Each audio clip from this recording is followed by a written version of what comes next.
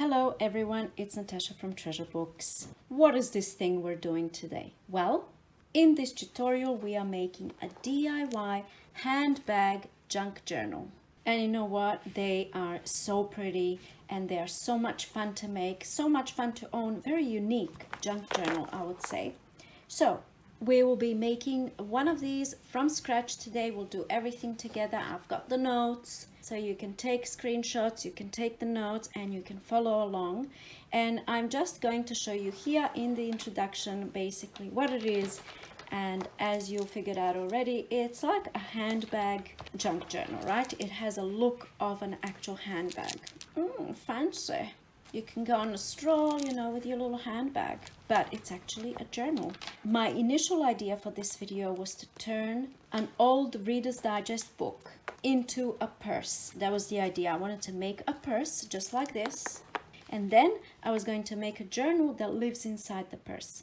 But I changed my mind and what I made here is something that looks like a purse, but it's actually a journal with bound pages or bound signatures. This is the one that we are making in the tutorial. This one here I was testing out for the tutorial. I was just kind of deciding what I wanted to do. And this one here, oh, same thing again. It's got three signatures bound into the book, but this one doesn't have any bits and pieces. It's just, you know, I wanted the lace. Uh, that's what I wanted. I wanted lace. I envisioned in my mind all this lace sticking out. And so that's what I did. So there's all sorts of different things that you can do with this idea and you can customize it and make it 100% unique, 100% you. All right, let's begin. Alright, so the very first step is to degut an old unwanted book. So I don't advocate for destroying books, okay? I feel like I have to say that. This book is an unwanted book discarded by the library, sent to be destroyed. So I don't feel bad about giving it new life. So basically, I just kind of cracked, uh, cracked the spine, is that the correct term? Just there to give myself a little bit of space between the book text and the, you know, this panel over here so that I can go in with my craft knife and cut that right down. Now be careful here, you don't want to cut through the spine because that is something you don't want to do because then you would have to try and fix that spine. All right. Okay, so that's the first side done and now I need to do the same over here. So I usually kind of find where it's already opening or cracking and usually these two pages are glued together over here. So I leave them and then I get rid of them later on. So again, just finding that little crack in there. And here we go. So the book text is removed and of course I'm gonna keep this and do all sorts of stuff with this. And I love the images here. So pop that to the side. Gonna be using that in another project next thing I want to do is you know I can decide do I want to keep this page here sometimes I do but this time I don't want to keep it so I'm just going to rip it and get rid of it and also this side Sometimes I do keep this and I fold it this way and then that becomes a pocket. But I'm just gonna get rid of it this time. All right, so we have de-gutted the book. We have the base here and this spine is intact. And now I just wanna neaten this up. So see all this stuff sticking up? I'm gonna trim that off a little bit. And of course, I'm going to be careful not to touch the spine there. Just neatening this up because that's going to be adding unnecessary bulk in that crease and I don't want that so I'll do that same thing on the other side and here we go. That's nice and neat. It's not perfect. It doesn't have to be but that's ready to go. Our next step is to add the handles. So we do the handles before pretty much anything else. It's totally up to you what kind of handles you want to put on there. I'm using ribbon as you can see. I'm using the same ribbon I used for this one here. Believe it or not, you can't see the ribbon at all. So the ribbon is completely hidden by the beads. But the reason why I like using ribbon as opposed to, for example, thick cord like this. I mean, this is an extreme example. Well, it's not that extreme. That would work as a beautiful handle. But the reason why I prefer ribbon is because it's nice and flat. So when it's glued on the inside of your cover, there's no bulge, no bulge there. Okay, so I know I'm using ribbon and then I need to prepare some beads. I've got all the beads I need ready right here. And now I'm just going to approximately cut off however much ribbon I think I will need. And of course, a tiny little bit more than what I think I will need. So let's just do this. All right. And I might do the same for the other side handle as well while I'm at it. Done. So let's start working on handle number one.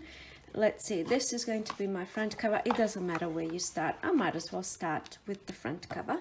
And the first thing I'm going to do is I'm going to mark where I want the handle to sit. So do I want it wide like this or do I want it like maybe really close together like this? That's what I'm doing over here. So just approximately, it really doesn't matter where they sit. What matters to me is that they, they are symmetrical. So for example, I don't want this, you know, it has to be somewhere in the middle. So I like to be precise with the handles because I have to do both sides exactly the same. So I'm going to find the middle. So that's about the middle there. And I want my handles to be maybe, let's see, yeah that's not bad uh, I'll, I'll stick with that so the next thing I'm going to do is secure one end of the ribbon and I will do that by applying some glue just like that pop it down and then for extra security I'm going to apply masking tape over the top uh, a few pieces of masking tape just to be double sure and triple sure I just want to be sure, sure, sure, sure. Make sure that's not going to go anywhere. Perfect. And now I add all the beads I'm to add. So I already know what I want to do because I've already done it here and I just didn't want to spend more time thinking about design and what beads I should use. So I'm just going to replicate this exact thing. But you're probably wondering how did I get my ribbon through this tiny bead. Look at this. This ribbon has to go through this tiny bead opening. How is that going to happen? You don't know. You're going to soon find out. So here we go. I am going to cut this into a really thin little sliver of ribbon just like this. And this is why it's important to leave yourself extra ribbon when you're starting off. Then with my lighter and very carefully, I'm going to cinch the edges here just so they're not unraveling, you know, while I'm beading, while I'm adding beads or fraying, I should say. I don't want things to start fraying. Okay, here we go. This is what we have. Excellent. And I'm going to start with my first bead and of course I'm going to speed this process up because this is going to take a while. Surprisingly, even though the ribbon is thick, it, it, it works. I mean, clearly it works. All right, when we get to here, that's my first little thing that I'm applying. I'm leaving a little bit of space. I'm not pushing it all the way to the cover because I want the handles to be able to move around. And you can see here, if I get a little bit close, see that there's movement there. So I didn't want everything to be really tight. So I just wanted to demonstrate when I get to that really small bead, how I kind of bead, bead it onto the ribbon, which I don't know why I want to really demonstrate that because I do it the exact same way as I'm what I'm doing here. But for some reason, I get immense satisfaction threading this wide ribbon into this tiny little bead opening. So you see that, that's gone through. And now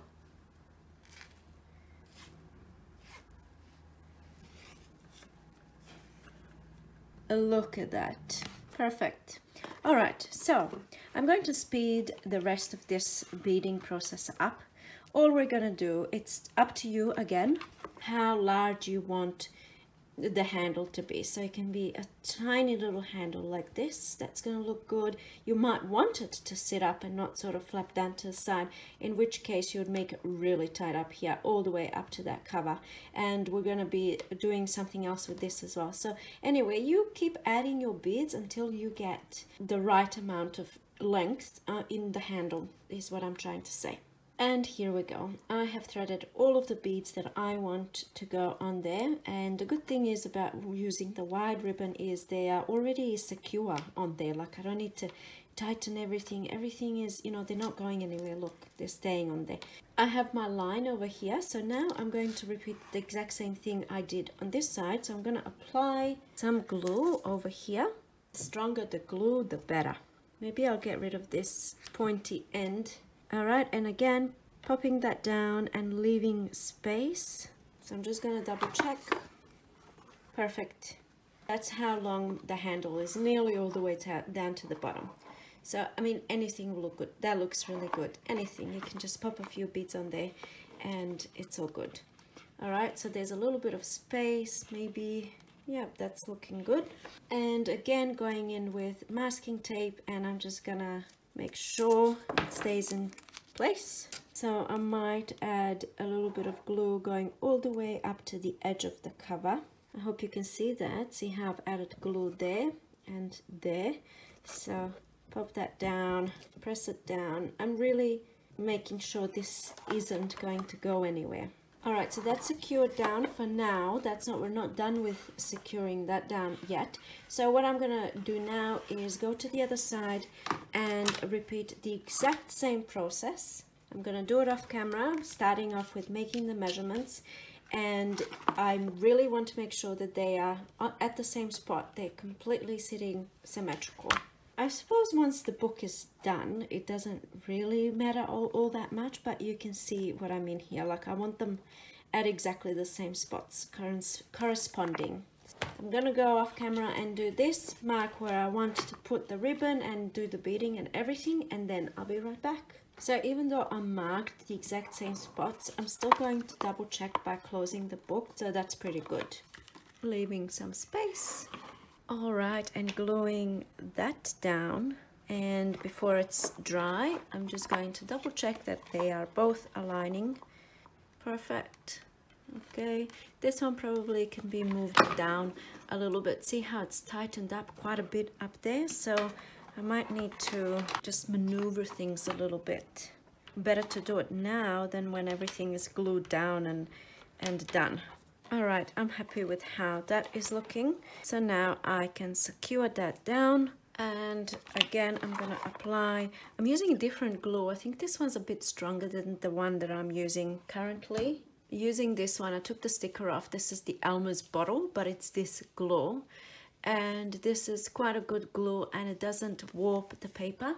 And of course I also love this glue, but this one is actually a bit cheaper than this one, quite a bit cheaper, and they pretty much do the exact same thing. So I think for attaching the handles, use the strongest glue you have available. I'm using this, I'm very stingy with my art glitter glue because it's not cheap and it's really, really good. And so I only use it, you know, for like tiny little things like this, which are really important. All right, I'm gonna give that a moment to dry. And now we are up to step number three, which is adding brads. This is optional, you don't have to do this. I am doing it because I like to be on the safe side. And basically what I'm doing now is adding brads. And the reason for these brads are simply as extra reinforcement to keep these in place okay? I don't want these coming out at any time these handles. I don't want them kind of sliding out. I know I've added glue and masking tape and I'm going to cover it on the inside as well but I am also using brads. So that's why I'm saying it's optional. It's not an absolute must but I also think that it looks good. Adds a bit more interest a little bit something extra. Why not? You could have a few brads going down. I don't know if you even have brads. If you don't, just don't even worry about it. So I want the brad feet to not overlap this white edge here because I will be covering the inside and I don't want the brad feet to be visible. So they have they can't be all the way up here. That is kind of what I'm keeping in mind at this step when I'm deciding where I'm going to pop the brad. So just gonna make a hole there and there perfect. And now I know you can't see but I'm going to choose a brad that I want to use. There's lots of things that would look really nice with this kind of look but I am opting for something very little and that's these tiny square brads. So the brads go in. Oh and one more thing. You see how I have covered the back cover? That handle is sitting sandwiched in between there there's a potential of the handle maybe ripping through this for whatever reason it doesn't matter. But this brad is going to keep this ribbon in place and it looks good. Secure the brad down and here we have it. So that brad is going to be hidden with whatever paper I place on top. All right I'm going to do the same thing on the other three. All right and here's what we have. So far it's starting to get that handbag look now because it's got the handles of course. You might want to make this into an actual purse rather than a journal. This is a tutorial for a journal but I just wanted to show you. When I was kind of thinking about this idea and what I wanted to do this is my prototype. This actually wouldn't look too bad either. You could do little gussets like this with fabric probably fabric better than paper for sure or maybe even DIY fabric paper, DIY fabric cloth. I have a video, I'm gonna link it in description and up here on making your own cloth like this. So what did I call it?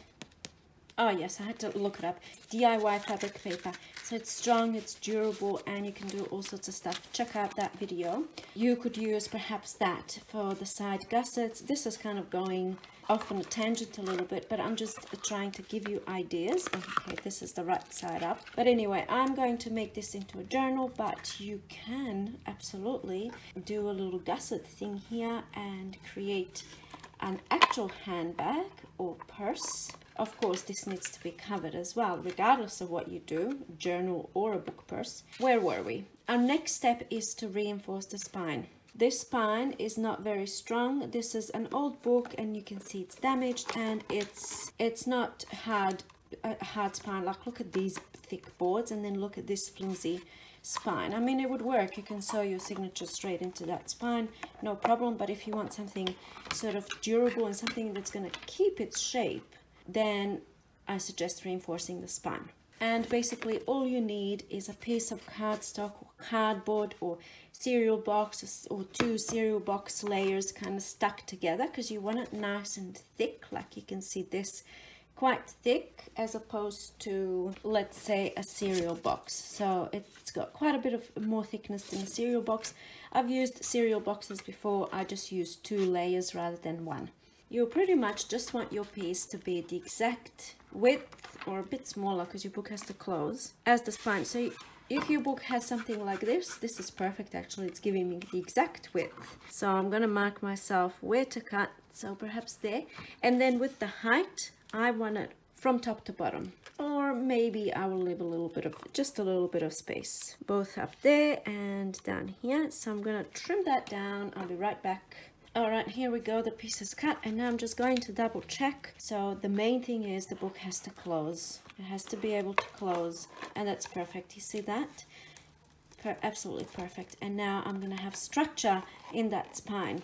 I'm going to glue this piece down but first i'm just going to use my brown sharpie just to hide this top edge so when you're looking down into the book you can't see cardstock and I'm going to cover the whole thing with glue, the whole thing, as much glue on there as possible. I don't have to be pedantic about anything and don't have to worry about glue seeping to the sides because everything is going to be covered. Add a little bit of glue in here for good measure, why not? Might even go in there and in there and pop this down in place. That's perfect and then of course press down. All right so we have reinforced the spine and now we're gonna make it look good and we're gonna hide all the ugliness here. So we're going to cover with washi. You don't have to use washi tape. I'm using washi tape because i have this beautiful washi tape from the washi tape shop. I'm going to leave a link down below and the code a discount code if you are interested. But you don't have to use washi. I have this on my desk. What is this? That would work what else do we have? We have some lace. That would also work. Something like this. Some fabric perhaps. You know, anything you have, anything at all. A paper, you can use paper. I prefer not to use paper because paper can crack in those creases. washi tape has a little bit more give and fabric especially. I've been using fabric mostly for these types of projects. All right, here is an example in this one here. I've just used fabric. You can see I've done the exact same thing. You can see that cardboard showing through, which I painted gold so that it's looking pretty and not that color. And then I covered it with fabric. Well, I didn't touch this here because of course I didn't have a whole lot of masking tape stuck on everywhere. But in any case, I'm going to use washi tape. This is this washi tape has a backing on it, as you can see. And I really don't want the washi tape to be larger than that white. So what I'm going to do, I just marked where uh, the length of washi tape that I need. But I think I need to color this down a little bit more just like that because it's going to be showing through when I pop that washi tape down so I'm just going to do it here as well I used to do this with paint but it's actually much easy easier to just use a marker and you don't have to wait for the paint to dry all right just double checking. So I'm actually going to use a few uh, layers of the washi tape. And first of all I want to have glue in the hinge. Washi tape is not strong. It's not designed to stick things in place. It's designed to be moved around. For example or, or just a, you know it's decorative tape that's not very strong. So of course I'm always going to apply glue and spread it out mainly so that I know that I have glue everywhere and then I want to apply my washi tape but I don't want to sort of uh, glue down the whole piece and then if it's wrong I can't do anything about it so I'm just going to you know just make sure that it's nice and straight I think that's looking good. Let's see. It's not very straight though, is it? We'll make it work. Alright, so I'm pushing that washi tape inside of that groove. See that?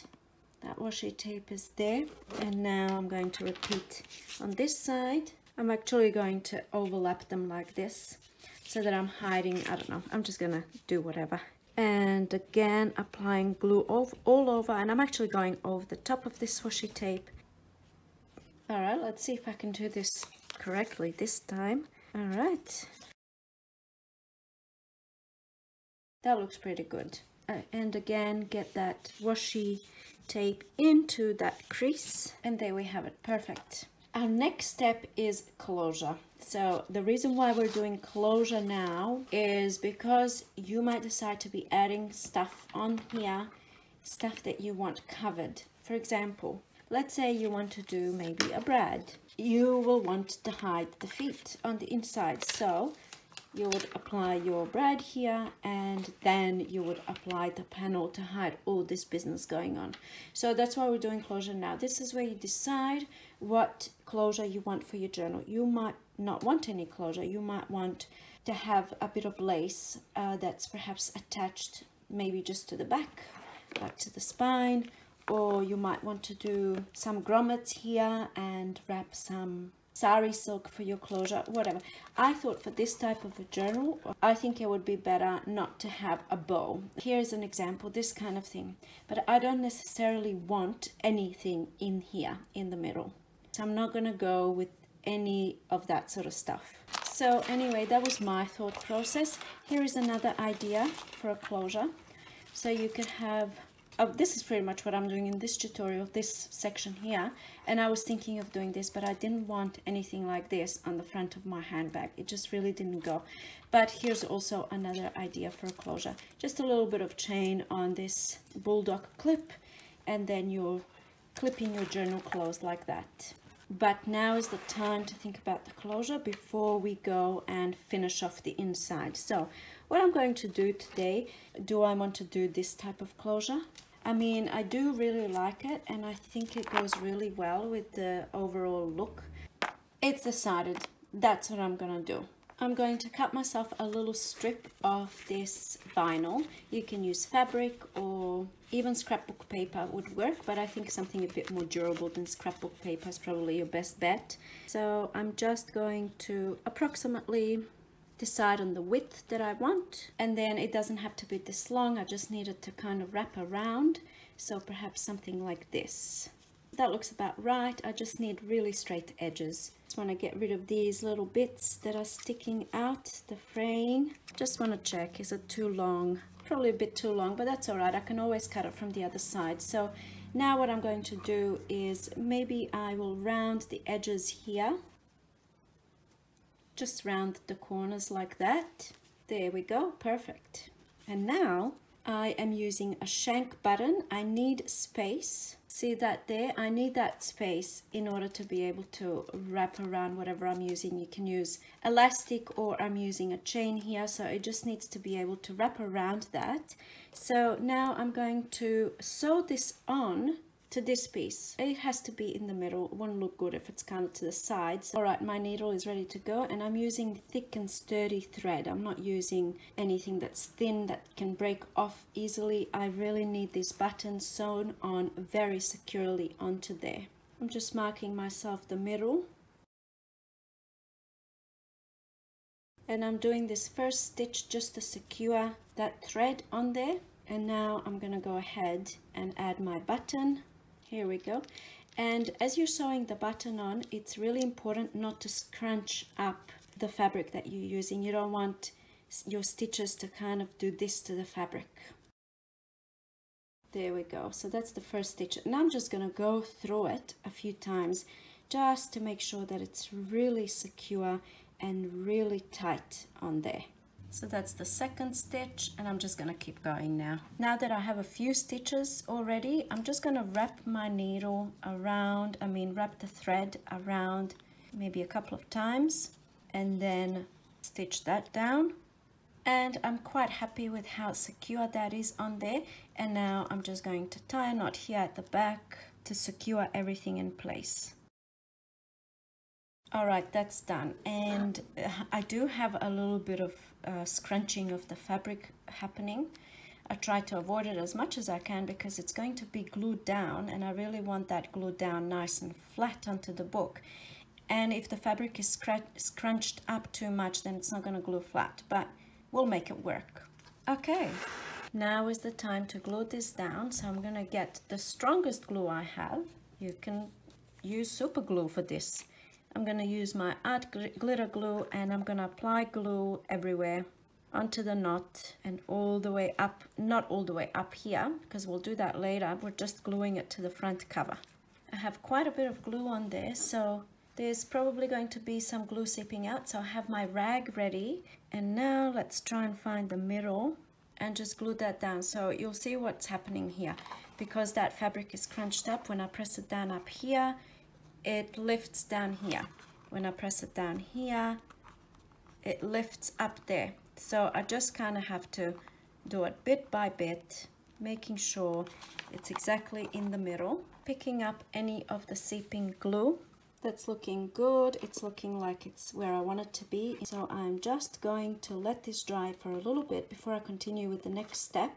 And as you'll notice, I didn't glue the inside down yet only because it's quite bulky here. So when I put my panel down, it's going to be visible under the panel, but you, you could just go ahead and glue this side down as well if you prefer not to have that visible here.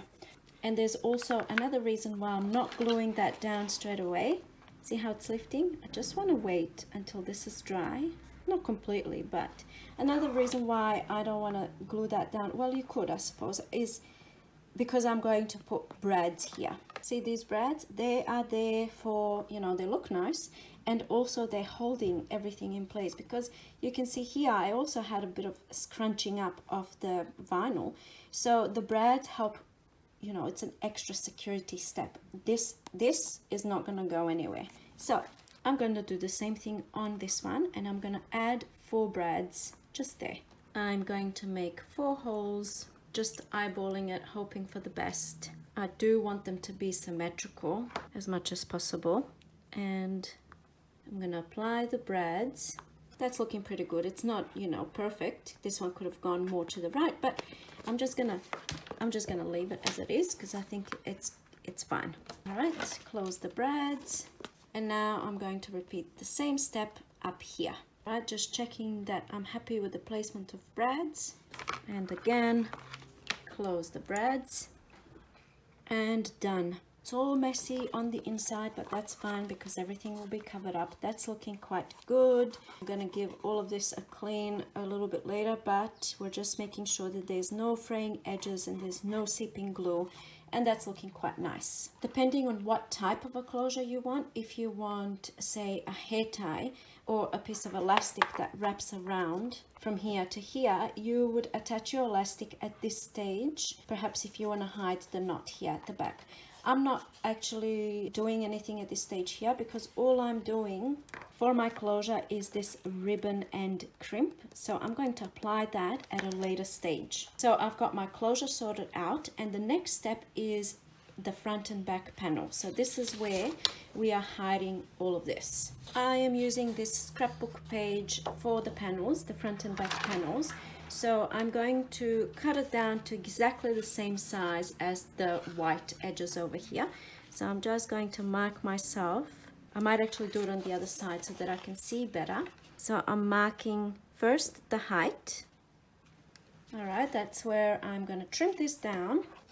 So that's the height sorted. And now I'm going to just trim it off somewhere. You know, I have this beautiful covering here so I can have it this short I can have it all the way to the edge over here. It really doesn't matter. So I'm just gonna line it up over here on the side there with the white paper.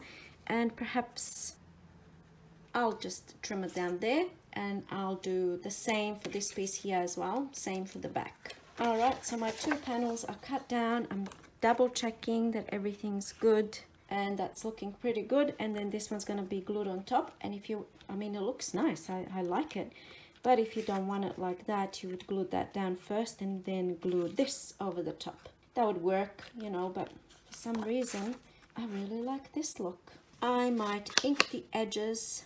I think it gives it a nice finish. See, it just makes it look complete. All right, edges are inked and now it's time to glue it down. So when you're gluing this down or when you're applying the glue, it's really, really important to have that glue all the way to the edge around the edges and everywhere else. And then I'm going to use my finger to spread that glue all the way to the edge. All right, and time to glue it down. And really press down. I probably could have had it a bit longer. There's a bit of white showing here. Maybe I can use a brown pencil to kind of make that a little bit less visible. Yes, that did the trick. That looks a bit better. Alrighty, and now repeat the process on the back and done. So before we move on to the next step, I'm just going to glue this down. I'm going to round the edges. Perfect. And now again, the same as before, I'm gonna apply glue all over this piece and also on the edge of the book cover there. Perfect.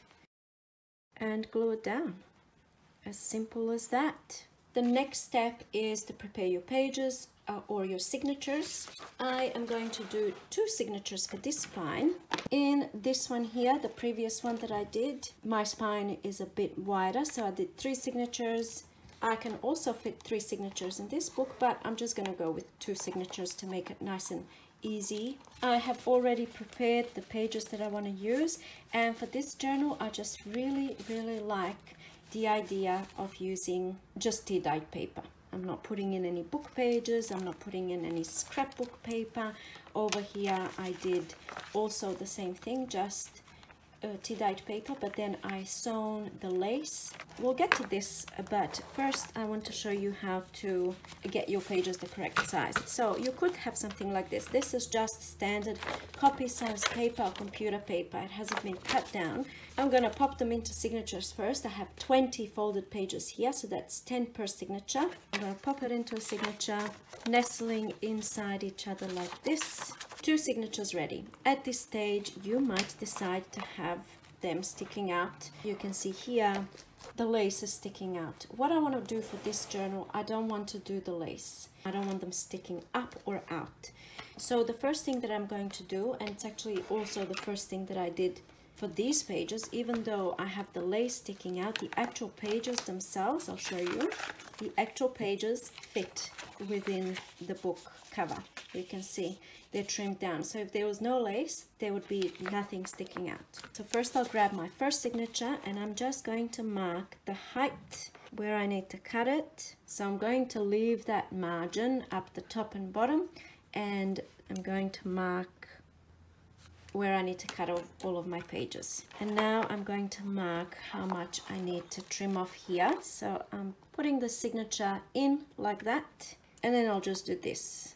And when I do my trimming, I'll do it a tiny little bit less than this line. There we have it. First, I'm going to trim all of these sides off because if I do that, then I won't be able to see this line. So anyway, I'm going to trim all of that off. That's done. And now I'm going to do the height and I'm working on one signature at a time. Okay, let's see. All right, so that's perfect. I love it. I think it's exactly how I wanted it to be. Get my second signature and I might use this signature as a guide. So I'm just going to pop it on top like this and trim away. And now trim off the top and done. So at this stage, it's up to you what you want to do with the pages and what sort of embellishing and, and adding things you want to do. When I made this journal, after I trimmed down my pages, I took the whole sheet to my sewing machine and I was sewing strips of lace on top and bottom. Some pages I left with nothing. You know, some pages I did just the top and bottom and some pages I did just the side here or like in this first page I did top and bottom and the side here so you can see this lace over here it's done on every I don't know four pages or so. I wanted to keep this journal kind of looking pretty much like this. So the next step is the binding. I made myself a template which is the exact same height as my signature. And now I'm going to find the middle make a little fold there and then perhaps I'm doing a three pamphlet three hole pamphlet stitch. So I'm just going to mark the holes so I have those little creases mark myself the middle and then the top and the bottom and I'm also going to put a little T to stand for top. Next thing I'm going to do is mark where I'm going to poke the holes on the cover on the spine. So because I have two signatures, I need them bound somewhere there. So I'm just going to draw myself a faint line where I want to bind my signatures and then I'll mark the holes. So first thing I'm going to do is find the approximate middle of the spine. So I'm just looking at the spine here. That's the approximate middle and then I want my signatures perhaps half a centimeter away from uh, on both sides of that middle line. There we go, you can see those two lines that I marked. It doesn't have to be exact signs, but you want your signature sewn in straight. You don't want crooked lines and you know it's nice to have an even spacing between the signatures so now I'm going to grab my template I've got my T for top so that's the front cover so that's the top of the journal and now I'm going to align this with one of the lines that I've drawn the first line and I'm going to mark where I need to punch the holes so that they align with my template because I'm going to use that to punch the holes through my signatures. So here we go. Three holes and then down here. All right markings made. You probably can't see it but I can see it so I'm going to go ahead and get my awl or pokey tool and poke the holes where I made the markings. And then hope for the best. That's looking pretty even. Time to poke some holes through the signatures. So get your signature ready get your template and pop it in there nice and snug and now I'm going to use those markings of course poke the holes. There we go, done. And now these holes should align perfectly with the holes you can't see, but they should align with the holes that you made on your spine. And time to bind. So I'm using waxed thread. You can use embroidery floss or whatever you have. And I'm gonna start. Go through the middle hole in the signature and the middle hole in the spine then go back through the top hole on the spine first I do the spine and then through the top hole on the signature now we're to go down the bottom hole through the signature and through the spine tighten everything and now go through the spine and the signature will it work. Oh it went through. Sometimes it takes a bit of oh and now I lost it. Try again. Perfect. It worked twice in a row. Sometimes it takes a bit of maneuvering. Make it nice and tight. Trim that off. And I'm gonna tie a knot and a double knot. Or I'm gonna do this S thing. This goes under there. This goes under there then we have this S thing happening then that goes through there that goes through there and this is my second knot but instead of the knot sitting on top of each other they are now sitting next to each other so there's no added bulk. There we go. You might want to do a little bow. All right so that's the first signature bound and it's nice and straight and beautiful in there. And now we repeat the process for the second signature. Done. Let's have a look. That's looking pretty good symmetrical just working those pages in a little bit. And here we go. How cool does that look? I'm loving the look of that. I'm not sure which one i prefer. Do i like the lace? Do i like this? I don't know. Now we need to finish off the closure. So i'm just using pieces of some broken jewelry. You can see i don't know what i'm to use from this but the first thing that I need to do is apply one of these ribbon end crimps I think they're called and I want it to be right there in the middle. So I found my middle and now I'm gonna crimp it down. Those little teeth are going to sink into that cover and they're not gonna budge. And now I just need something that's going to loop around this button here. So I'm going to use maybe a little bit of this it's going to be too long but I can always shorten it. So I'm going to apply that jump ring right through. All right that's good. Okay I'm going to use this for my loop and you have to leave because it's not elastic it can't be tight because you won't be able to open it up. So we're leaving extra just so you know what I'm doing. You can see on this one I have a little one piece of of a chain here and then I looped on the second piece here and that's my loop. And you can see how it's quite loose. So first thing I'm going to do is cut this shorter. There we go, that's shorter. And now I'm going to determine the size of this chain. I think that's about right, just approximate. Now I need to join the two chains together, so I'm getting a second jump ring. Pop that on there, pop that on there, and now pop the other side of this chain also on there and close the jump ring. Let's see. This is what we have.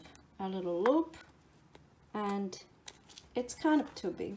Actually, no, it's not too big because with the use of this journal, the journal is going to fatten up and, and fill up with all sorts of stuff. So I definitely want space here. So I'm quite happy with that. But when you look at it like this, it seems like there's too much chain. And the very last special touch is to add book corners. So I have a little box of bits and pieces and book corners. These are all from eBay. I really think they add a nice special touch. So the way that I apply them is I just pop a little bit of, I'll, I'll do one on camera. I just do a little bit of glue just to make sure that when that goes on, it's not going to come off. Then I pop the corner on and then crimp it down and there's one corner done. I'm gonna go ahead and finish the others off camera and I'll be right back.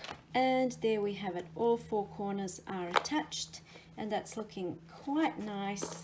Really love how that looks. And I just want to put stuff in here because it's looking a little bit thin and that's looking really really yummy. I'm gonna do a quick flip through and show you what I put in. So basically I clipped in a whole lot of stuff so there's really not that much creativity involved but I'm going to show you anyway. So I have a pocket there. I have a laminated little thing here or laminated leaf really. Most of these things I have tutorials for. This is a hidden paper clip you see it's a paper clip it's hidden. And then you can pop something underneath perhaps. That's just to demonstrate. So hidden paper clip. This here is a little notepad of bits and pieces and that can be completely removed. See? Just like that. Then I've clipped some vellum page. This is a sticker. I mean, the idea is for these to be, there's another, this is a belly band and I have a video on making these little book page embellishments. I'll link all the videos I'm mentioning down below in the description box. This is an envelope and I just popped some stuff in there. I also have a video, I think this was in my wonky envelopes tutorial, where you make envelopes without measuring. So they all, this one's not wonky, but anyway, that's that video. And just clicked more stuff in and then, you know, uh, what, what was I going to say? This is also a video. The idea is for the recipient of this journal to be able to, oh, I missed a whole lot of pages here. Maybe I did that on purpose. I'll put something there. I don't know if this is to fit. This is my fabric tags video. Shorten that a little bit. The idea is that the recipient of this journal will be able to move stuff around. You know, a little sticker there, a little flower here, maybe a tuck spot move stuff around and place these things wherever they want during the journaling process. This is also a video, fabric envelopes, I don't even know what they're called, and I've just popped some stuff in there as well. So all of these little pieces of ephemera are meant to be moved around as you're journaling. So you might come to this page and decide, I don't want this, or you might want this on this page, you might want to do a collage here on your creative little session, right? So you're just pulling out bits and pieces. Here is a little clear pocket. This was in my bits and pieces folder where I just make little things and then, you know, use them up when I need them. Same as this. This is a cluster and I can, of course, you know, you can glue the three sides down, pop it down on a page and put in what I do sometimes is I journal on separate pieces of paper rather than uh, journaling directly on the page which I do do as well. But sometimes I will journal on I don't know random piece like this and then I will have like six pages that I've journaled on and then I pop those pages into pockets.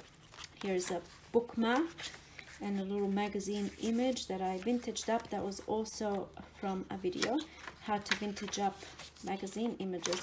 Here's a little envelope something in there I think. And then these are stickers. And then at the back I just popped in just some little more bits and pieces to be used. So now that's all nice and chunky and pretty looking. And let's see how that closure is gonna work perfect absolutely perfect so imagine like going out on a stroll with your little handbag but it's actually a journal like how cool is that will i ever do that you know you you just never know you might see me taking a walk in the park with my little handbag journal. I mean, you never know. Please let me know what you think. Do you like this project? Will you make it? I think it's pretty cool. It's unique, you know, something different. It'll look really cool sitting on a shelf. Here are the notes if you want to take a screenshot. Let me know your thoughts in the comments down below. Any questions you might have, anything at all. Thank you so much for watching and I'll see you in my next video. Bye!